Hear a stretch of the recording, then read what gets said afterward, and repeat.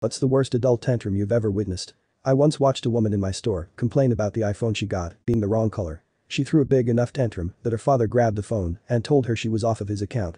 She proceeded to bite his arm hard enough that there was blood. Out of reaction the father backhanded her. This proceeded to her yelling at everyone in the store for not calling the cops. So she called the cops. An hour later the cops then arrested her for the assault on her father. This all being in front of her four-year-old daughter. A grown woman pushed over an entire cash register onto the floor with one arm, she was holding her child in the other because the cashier could not break a $50 bill. She also presumably by accident slammed her child's head into the door as she was stomping out of the store in a rage. I saw my 21-year-old cousin toss his monitor out a second-story window because of a video game, then proceed to cry about tossing a $300 screen out a window. Was pretty amusing. Worked at Taco Bell when I was younger, middle-aged mom came in and threw a fit, called the cashier a brainless idiot who will never exceed in life, and demanded a refund.